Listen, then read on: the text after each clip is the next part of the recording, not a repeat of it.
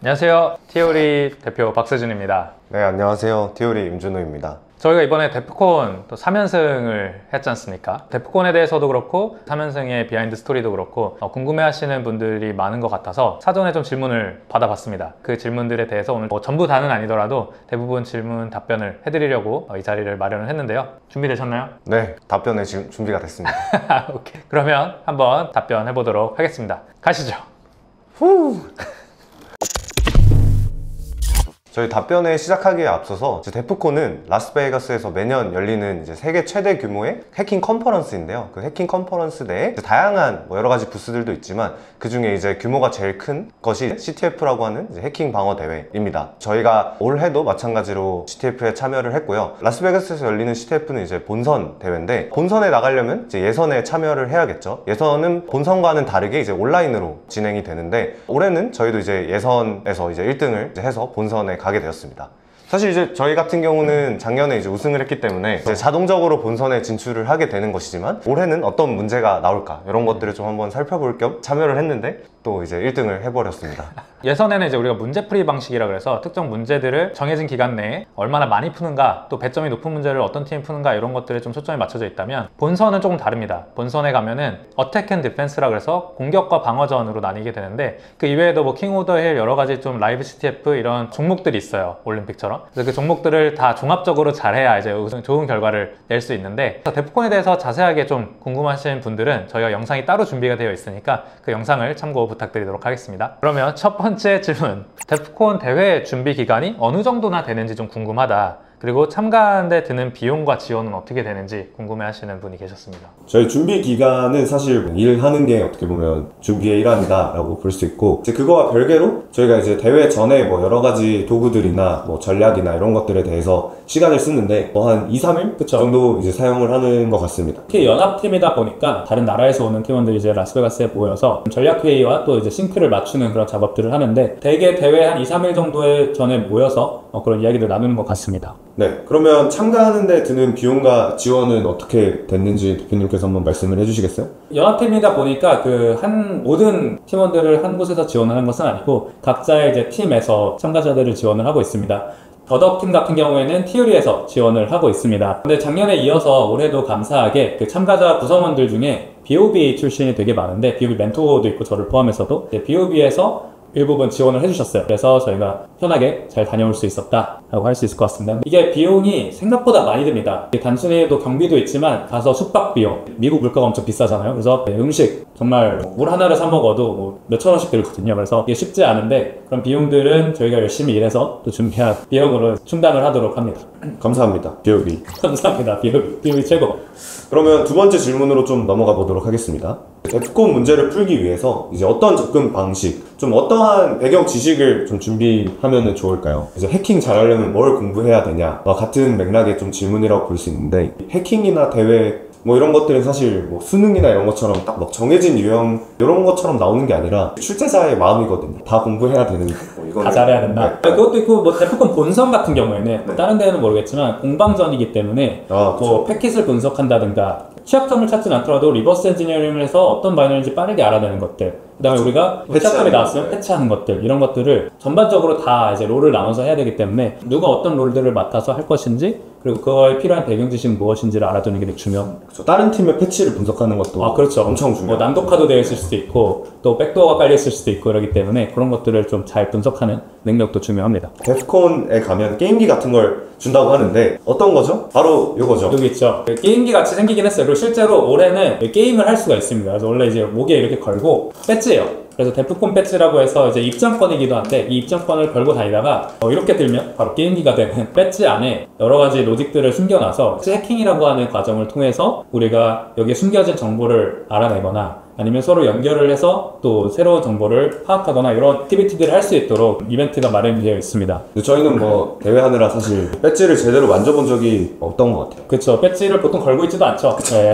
호텔방에서 보통 해킹을 하고 있기 때문에 여기 출입할 때만 필요하거든요.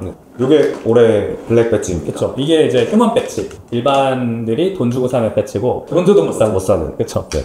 그리고 저희 이런 배지들 올해 같은 경우도 마찬가지로 이제 둠이랑 뭐 테트리스 같은 펌웨어를 이렇게 잘 집어넣어서 또 동작에 성공한 그런 영상들도 이렇게 찾아볼 수 있었습니다. 그렇죠. 사실 이렇게 디스플레이가 있고 회로가 있다? 그럼 이제 둠 넣는 거는 좀 국룰이죠. 아저씨 아닙니까? 아, 데프콘 CTF는 가장 권위 있고 어려운 해킹 대회로 이제 좀 알려져 있는데 혹시 이유가 뭔가요? 가장 큰 차이점은 데프콘이 역사가 가장 깊다. 세계 최초 그 최장 동안 이어지는 해킹 대회라고 할 수 있습니다. 그리스 아테네 약간 그런 느낌이죠. 최근에는 이제 한두 개 생기긴 했지만 이렇게 실시간으로 공격 방어전을 본선으로 하는 대회는 거의 없었거든요. 그런 면에서도 좀 특이한 부분들이 있고 난이도도 당연히 평소에 CTF들보다는 훨씬 더 어려운 부분들 특히 아까 말씀드렸듯이 역할들이 분담이 되어야만 잘할 수 있는 영역이다 보니까 뭐 그쵸. 패치도 해야 되고 분석도 해야 되고 네트워크 패킷도 분석해야 되고 뭐 exploit도 해야 되고 이런 여러 가지들을 한 번에 동시에 어, 실시간으로 할 수 있는 대회가 어, 많지 않은 것 같습니다. 데프콘은 어떠한 문제들을 푸는 건가요? 쉬운 예시랑 풀이 방법을 high level로 알려주실 수 있을까요? 해킹을 하지 않으시는 분들도 쉽게 이해할 수 있게 설명을 해보면 이제 각 팀별로 문이 엄청나게 많은 집이 이제 주어진다라고 생각을 하시면 돼요. 문마다 뭐 열 수 있는 취약점들이 있고 어떤 거는 뭐 아예 안 잠겨 있는 걸 수도 있고 어떤 거는 좀 쉬운 자물쇠로 걸려 있는 걸 수도 있고 그런데 참가자 팀은 각 집에 있는 그 문에 있는 취약점을 찾아서 가장 빠르게 이제 못 들어오게 막으면 되고 마찬가지로 공격을 할 때는 이제 다른 집에 있는 그런 자물쇠나 아니면 문들을 이제 취약점을 찾아서 이제 들어가게 하면 되는 그런 어, 대회입니다. 그래서 문이 엄청나게 여러 개고 문에도 이제 취약점이 여러 개 있을 수 있고 뭐 개구멍도 있을 수도 있고 좋은 비유였던 것 같은데 문제 또 종류도 좀 궁금하신 것 같아요. 아. 이거는 이제 그 대회가 그럼 어떤 식으로. 금방이 일어나냐, 어떤 부분들 신경 써야 되냐에 대한 좋은 비유였던 것 같고 문제 같은 경우에는 쉽게 생각하면 그런 거예요. 우리가 웹 서비스 서비스를 운영을 하고 있어요. 그러면 들어가서 뭐 아이템도 살 수 있고 뭐 팔 수도 있고 게시글을 쓸 수도 있고 여러 가지 기능들이 존재하는데 그 기능들을 구현을 하는 과정에서 또한 취약점들을 이제 여기저기 숨겨놓는 거죠. 그럼 이제 그런 것들을 저희 같은 분석자 입장에서 분석을 해서 취약점들을 찾아내서 공격하고 또 그런 취약점들을 잘 고쳐내고 이런 것들을 이제 계속 실시간으로 하면 된다라고 보시면 될 것 같습니다. 그러면 저희 이제 두 번째 섹션으로 넘어가서 대회 경험 및 전략에 대해서 한번 이야기를 해보도록 하겠습니다. 데프콘 CTF는 어떤 점이 힘드셨나요? 일단 항상 데프콘 CTF 제일 어려운 거는 수면 관리인 것 같아요. 그러니까 이게 3일 동안 정확히는 이틀 반 정도죠. 금요일, 토요일, 일요일 이제 오전 이렇게 이른 오후까지만 진행이 되는데 하루에 8시간씩 진행이 되고 마지막은 보통 4시간인데 올해 같은 경우에는 1시간 짧아져서 3시간을 운영을 했습니다. 근데 이제 그 시간 동안에만 대회가 운영이 되는 게 아니라 그때만 우리가 scoring을 할 수 있고 실제로 분석을 하거나 패치를 하거나 뭐 취약점을 찾거나 이런 것들은 사실상 밤새 작업을 해서 그 다음날 아침에 들고 가야 됩니다. 하루면 솔직히 그냥 밤새서 하고 다 던지고 그날 자면 되지만 이게 3일 동안 진행이 되다 보니까 어, 누가 언제 자고 또 언제 컨디션을 유지하고 이런 것들이 되게 중요합니다. 그래서 그런 것들이 이제 가장 어려운 거죠. 어떻게 보면 기술적인 부분도 기술적인 부분이지만 운영 차원에서도 우리가 신경 써야 될 게 많다 하는 점. 수면 컨트롤. 그렇죠. 네, 컨디션 조절 이런 것들 그렇습니다. 다음 질문은 어, 저희가 데프콘 대회 전에 준비해야 할 프로그램들 또는 뭐 환경 구축 이런 것들에 대해서 좀 궁금하다. 어, 뭐 일단 기본적으로 문제를 분석할 수 있는 그런 환경이 필요할 것 같고 공격 코드를 만들어낼 수 있는 환경. 요거는 이제 다른 CTF들이랑 별반 차이가 없을 것 같은데 이제 그거 말고도 실시간으로 패킷이 공격 패킷이 이제 공개가 되다 보니까 그런 패킷을 이제 분석할 수 있는 뭐 프로그램 뭐 Wireshark나 이런 게 됐든 아니면 그런 또 자체적으로 네, 인프라가 됐든 그런 게 필요할 것 같고 그다음에 두 번째로는 대회 실시간 상황을 좀 시각화해주고 조금 더 잘 이해할 수 있게 뭔가 visualize 되는 그런 시스템 요 두 가지 정도만 있으면은 그래도 일단은 비벼볼 수 있죠. 그쵸 되게 실시간으로 계속해서 어, 공격을 하고 또 거기서 얻은 flag들을 submission하고 또 exploit을 던지고 근데 어떤 팀은 그걸 패치했을 수도 있고 어떤 팀은 또 다른 익스포잇에 취합할 수도 있고 그러다 보니까 그런 것들을 한눈에 가시화하거나 실제로 뭐 공격을 하고 뭐 안 하고 하는 그런 인프라스트럭처들 이런 것들이 되게 중요한 것 같아요. 당연히 저희가 어쨌든 디버깅도 하고 exploit을 하려면 그에 맞는 환경을 준비해야 되는데 요즘에 저희 회사도 그렇지만 대부분 이제 Mac을 많이 쓰잖아요. 근데 이제 요즘 Mac들은 다 ARM 기반의 chipset이라서 이게 X86에 문제가 나오면 뭐 Docker나 이런 것들을 그냥 native하게 돌릴 수가 없단 말이죠. 그래서 이제 그게 필요하면 이제 다른 VM들이나 아니면 다른 뭐 machine, 뭐 클라우드 같은 것들을 통해서 그런 것도 디버깅할 수 있는 환경을 만들어 놓는 게 중요합니다. 저는 대회 때는 사실 그냥 클라우드 제일 비싼 거 써서 쓰거든요 돈으로 이번에는 저희가 좀 특이하게 어, 서버를 아예 한 대 가지고 갔어요. 뭐 그런 machine들이 필요한 사람들은 거기에 접속해서 이제 할 수 있도록 저희가 좀 machine을 가져간 것도 있습니다. 그리고 이제 가끔 보면 뭐 어떤 패스워드 크래킹을 해야 되거나 뭔가 테스트 시뮬레이션을 해야 되거나 이러기 때문에 그런 환경들이 미리 예측할 수는 없죠. 어떤 문제가 나올지 모르니까. 하지만 그런 것들도 항상 준비되어 있으면 필요할 때 유용하다. 클라우드 계정에 크레딧 넣어. 그렇죠. 크레딧 이제 쌓아놓고 그다음에 DEFCON 전에 하는 의식 같은 게 있냐? 딱히 없죠. 저희 매년 하는 건 있어요. 의식 같은 건 아니고 어, 아까 말씀드렸긴 했지만 그 전날에 다들 모여가지고 아, 이제 전략- 전략 전략 회의를 합니다. 그래서 우리가 이번에는 어떤 것들이 예상이 되고 그리고 우리가 이런 사람들이 모였고 이런 팀에서 이런 역할을 해줄 거고 이런 tool을 준비해 왔고 이런 것들 서로 소개해서 실제 대회할 때는 그런 커뮤니케이션 cost를 줄이는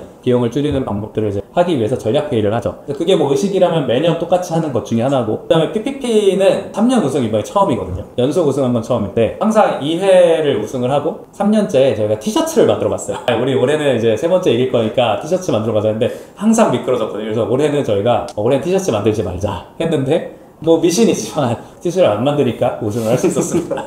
어 그리고 다음 질문이 예전에 올려주신 데프콘 영상 보다 보면 다 같이 모여서 브리핑 같은 것들 하시던데 문제를 모르는 상황에서 어떻게 좀 전략을 짤 수 있을지 이게 저희가 영상에 보면 디데이 바로 전날에 하는 전략 회의가 하나 있고 그 다음에 저희는 매일 대회 일정이 끝나면 모여가지고 그날의 상황 정리를 한번 합니다. 그 다음에 그날 밤에 어떻게 할 건지 전략을 또 짜고 이런 식으로 이제 전략 회의들이 일어나는데 당연히 첫날에는 저희가 뭐 아는 게 별로 없기 때문에 아까 말씀드렸던 우리가 준비해왔던 것들에 대한 공유와 또 예상되는 것들에 대한 논의 그리고 이런 것들 얘기를 하게 되고 day 1, day 2 끝나고 나면 오늘 이제 나왔던 문제들 그다음에 현재 상황 그래서 오늘 저녁 그리고 내일 아침에 어떻게 좀 할 것인지에 대해서 전략을 논의하고 실행을 합니다. 올해 같은 경우는 분위기가 안 좋았죠. 그쵸. 아, 이번에는 저희가 뭐 첫째 날도 3등을 했었고, 사실 3등이 나쁜 건 아닌데, 저희가 이제 첫째 날 보통 성적이 좋은데, 첫째 날에 성적이 좀 안 좋았었고, 그 다음에 둘째 날은 중간에 저희가 6위까지 떨어졌었는데, 역사상 그런 적이 없었기 때문에, 어, 되게 이게 좀 침을 했었죠. 근데 이제 그럼에도 불구하고, 그거를 잘 극복해내는 것도 또 중요한 것 같아요. 그러니까 우리가 지금 당장 이기고 있지 않지만, 어떻게 우리가 내일 아침에 이길 건가, 이런 전략과 사기 충전, 이런 것들도 중요한 것 같습니다.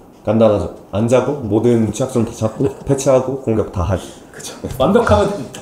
그리고 이제 DEFCON에서 1인분을 할 수 있으려면 어떤 기본적인 능력이 필요한지 궁금합니다. 라고 질문을 해주셨어요. 전 1인분의 정의는 상당히 다양하다고 생각을 하거든요. 그쵸. 제가 생각하는 1인분은 어쨌든 가서 팀이 좋은 성적을 낼 수 있도록 기여를 하는 건데, 그 기여는 DEFCON 본선 같은 경우에 특히 되게 다양한 분야에서 발현이 되는 것 같아요. 예를 들면, 여기 뭐 예시로 뭐 개발 이런 것도 있는데, 실제로 그런 인프라스트럭처를 잘 개발해서 우리가 익스포잇을 잘 만들었을 때, 모든 팀한테 잘 전달이 되고, 또 거기서 flag를 잘 습득을 해서 submission 시스템에다 잘 넣고, 그걸 확인하고, 그래서 우리가 놓쳐진 flag가 없는지, 아니면 놓쳐진 팀이 없는지, 패치로 인해서 공격이 막혔다면 그걸 빠르게 인지하는 것들 그 다음에 어떤 팀이 우리보다 먼저 공격에 성공을 했다면 그런 것들을 빨리 역공학 해가지고 그 공격 기법 우리도 알아내는 것 그러다 보니까 사실 어, 맡는 역할들이 되게 다양하고 거기에 필요한 기술셋들이 다릅니다 그냥 마냥 내가 익스포잇을 잘한다고 해서 대회를 이길 수 있는 게 아니기 때문에 어, 그런 부분에서 각자의 역할에서 좀 기여를 잘하면 1인분을 할 수 있다 뭐 저는 이 점수 까먹지만 않으면 1인분을 했다라고 보고 있습니다. 데프콘은 잘 돌아가려면 기술적인 거 말고도 다양한 뭐 로지스틱스나 이런 것도 많이 필요하거든요.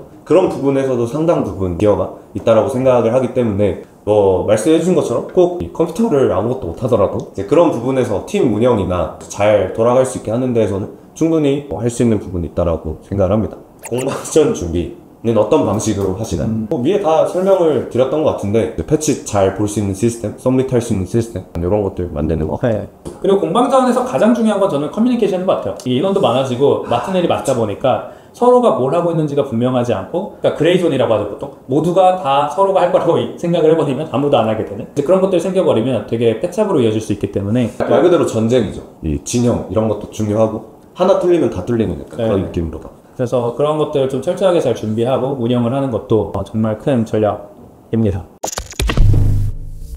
다음 주제로 좀 넘어가 보면 팀 구성과 운영이 어떻게 되어 있는지 좀 궁금하신 분들이 있는 것 같아요. 네, 데프콘의 역사를 아시는 분들은 아실 수 있겠지만 대회에 원래 인원 제한이 있었습니다. 원래 8명 제한이었고 그게 조금 풀려서 뭐 한 10명, 15명 이렇게까지 풀린 적은 있었지만 사실 무제한이 된 지는 그렇게 오래되진 않았어요. 그래도 그래도 한 벌써 한 6년은 됐군요. 인원이 많이 풀리게 된 계기를 좀 설명을 드리면 한 팀에서 원한다면 VPN이나 이런 것들을 통해서 실제로 거긴 8명밖에 없지만 사실 VPN 뒤에 한 3, 40명이 있어도 사실 막을 수가 있는 방법이 없었어요. 이런 팀이 실제로 존재를 했었고 그걸 운영진이 발견을 하면서 고민에 많이 빠졌죠. 아 우리가 이걸 다 막을 수는 없고 그러면 어차피 막을 수 없다면 모든 팀에게 허용을 해주는 게 좀 더 공정하겠다라고 해서 인원 숫자를 없애버렸는데 이제 그러니까 생기는 문제들이 뭐냐면 원래 단일 팀이던 팀들이 연합을 하기 시작합니다. 그러다 보니까 이 가계도도 있거든요. 아, 네. 그거 띄워주시죠. 네, 띄워주세요. 가계도도 있는데 이게 막 어떤 팀들은 진짜 한 따지고 보면 10개의 작은 팀들이 모여가지고 이제 한 팀이 되는 그런 경우도 있어요. 뭐 두 개가 하나 뭉쳐서 한 팀이 됐고 두 개가 뭉쳐서 한 팀이 됐는데 그 팀들이 또 모이고 이러다 보니까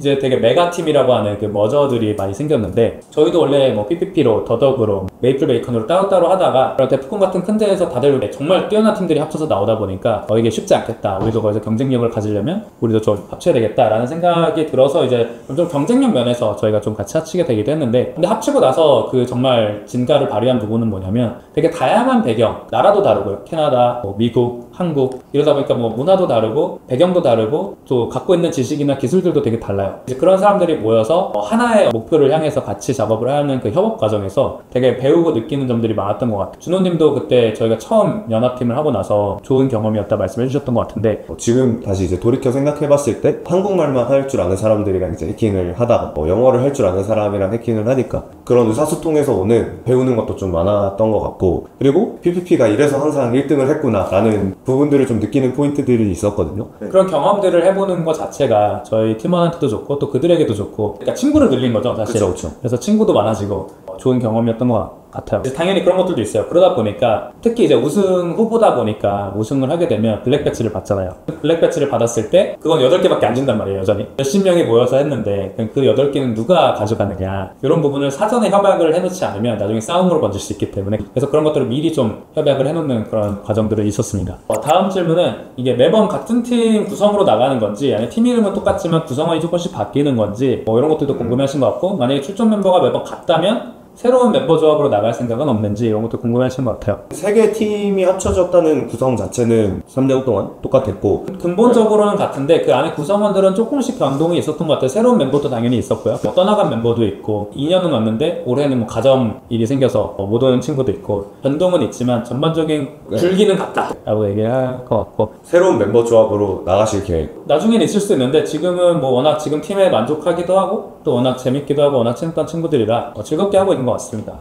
다음 질문. 네. MMM은 한국, 미국, 캐나다 연합팀으로 알고 있습니다. 이렇게 연합했을 때 생기는 단점과 장점 무엇이 있을까요? 사실 이렇게 연합팀으로 나가면 단점과 장점은 좀 분명한 것 같아요. 어, 아무래도 언어와 문화가 다르다 보니까 그런 커뮤니케이션 하는 부분에서의 사실 어려움은 당연히 있고요. 말이 통해야 우리가 이걸 하니까. 그렇죠. 다행인 거는 저희가 기술로 또 코드로 대화를 할 수 있으니 그런 부분을 크게 물리는 안 되는데 언어적인 부분이 가장 어렵다라고 생각을 하는데 지난 3년 동안 하면서 많은 부분 개선이 됐던 것 같고 그 다음에 뭐 장 점이야 당연히 정말 전 세계에서 똑똑한 친구들과 한 팀이 돼서 한다는 것 자체가 큰 같아요. 큰 장점이죠. 네. 그래서 저희가 몰랐던 기술도 또 배우게 될 수도 있고 또 알았던 것들도 더 면밀하게 볼 수도 있고 이런 성장의 기회가 된다는 거는 그리고 다양한 문화와 또 그런 생각들 어, 그런 견문을 넓힐 수 있다는 점에서는 분명히 장점인 것 같습니다. 그 다음에 데프콘이 열리는 라스베가스 팀 대부분이 직접 방문하는 이유가 무엇인가요? 대부분의 팀원들이 호텔에서 VPN을 사용해 대회에 참여하고 소수의 인원만 현장에 간다고 들었는데 어쨌든 라스베가스에 가는 이유가 무엇인지 궁금합니다. 아, 그쵸. 사실 저희도 항상 매년 이 이유를 대붙습니다. 저희한테. 아, 왜 우리가 여기까지 와서. 어, 사실 엄청 덥거든요. 이 한여름에 베가스는, 물론 이제 습하진 않아요. 근데 이제 날씨적으로도 어렵고, 또 베뉴도 협소했고, 올- 올해는 좀 커졌지만, 그리고 말씀하신 대로 항상 어차피 호텔 방에서 모여서 VPN으로 할 거면 굳이 거기 갈 필요가 있냐? 라는 질문은 당연히 저희도 항상 드는 생각인데, 이게 대회장에서만 모든 것들이 일어나는 게 아니라, 그 일정이 끝나고도 밤새 일어나는 것도 있고, 3일 내내 되게 밀도 높게 이뤄지다 보니까, 이게 리모트로만 했을 때 얻어지지 않는 그런 좀 감성들이 있는 것 같아요. 같이 했을 때 나는 시너지가 확실히 있고, 또 커뮤니케이션이나 이런 것들이 훨씬 더 명료하게 왔다 갔다 할 수 있기 때문에, 그리고 일단 재미도 있는 것 같아요. 물론 저희가 모든 사람이 가지는 않아요. 이번에 할 때도 한국도 그렇고 캐나다도 그렇고 미국도 그렇고 각각의 이제 지부들이 있어서 어, 로컬에서도 그 리모트로 참석을 다 해주셨거든요. 그리고 거기서의 기여도 되게 큽니다. 거기에 가야만 더 잘할 수 있는 거, 또 가야만 하는 거는 아니고 각자의 위치에서 그런 것들을 잘 지원하는 게 중요한데 아무래도 뭐 전반적인 운영 면에서는 한 곳에 모여 있는 게 흩어져 있는 것보다 훨씬 더 유리하기 때문에 어, 많이들 모이는 것 같고 또 재미 요소도 있는 것 같습니다. 다음 질문들은 이렇게 데프콘이라고 하는 큰 무대에서 잘하기 위해서 성장을 하고 싶은데 어떻게 하면 공부를 잘할 수 있는지 또 성장할 수 있는지 뭐 자격증이나 이런 공부 방법들이 조금 뭐 중요한 게 뭐가 있는지 이런 것도 궁금해하시는 질문들인 것 같아요. 물론 당연히 공부는 아시죠? 드림핵으로 하시면 됩니다. 실제로 데프콘 우승을 했던 어, 해커들이 만든 컨텐츠이기도 하고 실제로 그걸로 성장한 친구들이 저희와 함께 하면서 또 좋은 성적을 내고 있기 때문에 드림핵은 어느 정도 증명된 플랫폼이기 때문에 화- 많이 활용 부탁드리고요. 어, 질문을 좀 살펴보면 뭐 보안 쪽 분야 관련 공부는 어떻게 시작해야 되냐? 항상 되게 어려운 질문인 것 같아요. 근데 뭐 준호님도 그렇고 저도 그렇고 항상 후배들한테 하는 이야기 있죠. 기본기에 충실해라. 결국에는 우리가 보안은 응용 학문이기 때문에 기본기 컴퓨터 공학, 컴퓨터 과학을 잘 이해한 다음에 그 위에 쌓아 올려야만 오래가고 깊게 갈 수 있는 학문이기 때문에 아직 컴퓨터 자체에 그렇게 친숙하지 않으시다면 그 영역을 먼저 공부하시고 그 다음에 보안에 입문하시는 걸 추천드리고 당연히 보안에 입문은 드림맥입니다. 다음 질문은 제로부터 시작했을 때 데프콘에 참여하려면 몇 년이나 걸릴까요? 어떻게 해야 실력이 월등하게 늘까요? 라는 질문입니다. 근데 이게 사실 밑바닥이라는 게 또 어느 밑바닥이냐에 네, 밑바닥 밑에 지하실 그렇죠. 이게 예전보다 진입 장벽도 이제 많이 높아진 것 같긴 한데 그와 반대로 또 공부할 수 있는 머티리얼들이 엄청나게 많아진 것 같기도 해요. 데프콘 참여 자체를 목표로 뭐래 너무 뜬구름지 않는 얘기인가요? 아 데프콘 참여 자체를 목표로 하지 마라. 왜냐면 뭐 예를 들면 그냥 좋은 팀 만나면 그냥 갈 수도 있는 거고. 아, 그쵸. 사실 이게, 그러니까. 본인의 실력으로 가는 것이 되게 중요한데, 그냥 우리가 진짜 소위 말하는 버스 타는 거 말고. 저 같은 경우에는, 그러니까 PPP를 만들고 나서 데프콘을 처음 시도했을 때는, 그때는 저희도 막 뉴비고 했으니까, 어, 본선 진출 못했어요. 그러니까 본선 진출 바로 전, 그때 이제 10팀이었는데, 11등을 했거든요. 그래서 그때는 못 갔었는데, 그 다음에는 이제 본선 진출을 했었고, 이제 그러다 보니까 뭐, 빠르면 정말 1, 2년만 해도 가능하다인데, 문제는 얼만큼 그 시간 동안 밀도 있게 자기의 성, 성장을 했느냐, 그 차이인 것 같아요. 밀도가 중요한 네, 거죠. 근데 이제 그리고 말씀하신 대로 그 시절에는 어떻게 보면 나 때는 이게 훨씬 더 쉬웠죠. 즉 경쟁 팀들 자체가 그때도 잘하긴 했지만 그쵸. 뭐또 지금에 비하면 지금 팀들이 워낙 강력한 팀들이 많기 때문에 지금 사실 본선 가기가 더 어려워진 것 같습니다. 하지만 어, 준호님 말씀하신 게 되게 현답인 것 같아요. 그래서 데프콘 참여 자체에 의의를 너무 두지는 말고 내가 어떻게 하면 더 성장할까 더 잘하는 해커가 될까 하다 보면 자연스럽게 데프콘에 가 있는 본인의 모습을 보시지 않을까 생각을 합니다. 음, 막상 뭐 많이 하다 보면은 잘 하게 되는 것 같아요. 그렇죠. 그러면 마지막으로 어, 여기 여러 가지를 많이 주셨는데 몇 개만 찍어서 조금 한번 해보죠. 그럴까요? 네. 아 이거 좋은 질문인 것 같아요. 우승이라고 하는 어떻게 보면 정점을 찍었는데 어 그리고 저희 몇- 많이 했잖아요. 근데 매년 또 도전하는 이유는 무엇 때문인지 재미 때문인가요? 아니면 별도의 다른 또 목표가 있는가요? 그러니까 사실 저는 이런 걱정됐거든요. 박수 칠 때 떠나라 이런 말 있잖아요. 아. 사실 지금쯤인 것 같은데 이제 그만해야 될 것 같은데 그게 이미 한 몇 년 전에도 이미 그런 생각이 들었는데도 불구하고 계속 도전하는 이유는 어, 이런 좋은 팀들과 1년에 한 번씩 만나서 되게 밀도 있게 이런 해킹에 집중할 수 있는 시간 자체가 그쵸. 되게 귀하고 감사한 것 같아요. 어, 그런 부분들 때문도 있는 것 같고 어, 여기 뭐 질문 중에 우승할 때 도파민이 나오냐? 이런데 뭐 도파민 당연히 나오는 것 같아요. 그래서 1등하는 게 좋기도 하고요. 어, 근데 이제 그것보다도 진짜 열심히 3일 동안 해가지고 우리가 그 성공을 딱 했고 1등을 찍었을 때 그때 그런 희열감과 성취감은 항상 기분 좋은 것 같습니다. 사실 저는 우승하는 그 시점보다 그 과정에서 더 많이 나오는 것 같아요. 뭔가. 그러니까 우리가 막 역전을 하거나 네, 막 역전을 이럴 때 하거나, 그렇죠. 네. 유지를 하거나 막 우리만 점수 막 맞아, 잔뜩 맞아. 먹고 있을 때. 그럴 때 진짜 기분이 좋은 것 같아요. 왜냐면 결과는 보통 이제 끝나면 아니까. 그쵸, 그러면 그쵸. 이제, 예. 그리고 이제 그때쯤 되면 다들 이제 하얗게 불태워서 솔직히 감정이 쉽게 들잖아요. 그별 생각 피곤하고 졸리고 자고. 싶거든요. 네. 어, 이거 한번 저는 지수님한테 물어보고 싶어요. 연애와 해킹 둘 중에 하나만 해야 된다면. 뭐 둘 다 하기 때문에 아, 연애와 해킹 둘 중에 하나만. 아, 정말 쉽지 않은 것 같습니다. 둘 다 잘 하셨으면 좋겠고요, 여러분들. 또. 두개 다 이루시길 바라겠습니다. 네. 베가스에 카지노 많이 있나요? 어, 그쵸. 베가스는 사실 카지노의 도시가 됐죠. 카지노 도시죠. 그래서 사실 모든 호텔이 사실상 카지노가 있고, 심지어 공항에도 있습니다. 인터넷 속도. 인터넷 속도, 아, 인터넷 속도는 정말 좀 복불복입니다. 그, 그쵸. 이제 지내는 호텔에 따라서도 갑자기 인터넷이 끊길 때도 있어요. 홍수 정전 났을 때도 있고, 뭐 너무 많이 써가지고 인터넷이 느려졌을 때도 있고 한데, 요즘에는 그래도 좀 나아진 것 같아요. 며칠 전에 비해서. 호텔 IT 팀이 많이 잘 해주신 것 같습니다. 네, 그래서 개선이 좀 많이 됐고, 어, 이거 저 마지막으로 하면은 좋을 것 같은데 그 베가스 가면 꼭 이건 꼭 해봐야 된다라는 거 activity나 맛집 이제 많이 가셨으니까 그리고 또 여행 아. 좋아하시잖아요. 하나만 딱 추천한다면 뭐 그래도 자연 웅장한 경관을 보는 그랜드 캐니언에 한번 좀 갔다 와 보시면 좋을 것 같습니다. 막 바로 옆에 있진 않지만 바로 옆이죠. 한 대여섯 시간 간. 아 미국에서는 땅덩어리에서는 바로 옆이죠. 거기 가면 좀 뭔가 아, 내 자신에게 초라해지죠. 네. 그러니까 조금 조금해져요 사람이. 그래서- 겸손해지죠. 그다음 겸손해지죠 이 앞세상. 최근에 뭐 스피어 이런 것도 생겼고 아 그쵸. 올해 또 스피어 갔다 왔는데 아 좋더라고요. 역시. 아, 돈이 이- 최고다. 그러니까 돈이 최고라 기술이 최고다? 이 돈이 들어갔을 때 이게 얼마만 기술이 얼마만큼 뭔가 나올 수 있는지. 수 있는지. 아. 그러니까 그거를 좀. 아, 뭐 되게 좀 근데 뼈 때리는 말인데요. 이 투자가 있어야 기술 발전이 있다. 그쵸. 보안에서 좀 더 많이 투자. 네, 그러면 이 정도 뭐 마무리하면 되지 않을까요? 안에 하나 더 있는데요. 아, 이거요? 아, 이거는 MMM 멤버를 보니 모두 다 잘생겼다는데 외모에 기준이 있냐라는 질문이 왔어요. 아, 근데 이게 질문이 모두 잘생겼는데도 아니고 잘생겼다던데 뭐 누가 이야기를 한 건지? 뭐 해킹 잘하면 잘생겨 보이는 그런 게 있나? 아, 그런가요? 뭐 그렇다고 합시다. 외모의 기준이 있나요, 저희 MMM이? 뭐 그런 게 있겠습니까? 네. 다 binary로 보일 뿐이지. 사람과 네. 그래서 어, 좋은 팀으로 또 이번에도 즐거운 시간을 가지고 왔는데 시간 관계상 저희가 모든 질문들에 대해서 되게 디테일하게 대답은 해드리지 못했던 것 같지만 그래도 들어왔던 대- 질문들에 대해서 최대한 많이 답변을 하려고 했는데 혹시라도 여기서도 궁금하신 거 있으면 댓글로도 달아주시면 저희가 어, 추가적으로 또 답변을 달아드리도록 하겠습니다. 댓글로 달아 뭐 드리거나 또, 또 다른 영상을 준비를 하거나 네 그러면 오늘 뭐 블랙 배치 한번 더 자랑하면서 고양이 모양으로 생겼습니다 그래서 요거 자랑하면서 네. 이번 영상을 어, 인사드리도록 하겠습니다 시청해주신 여러분 감사합니다 감사합니다.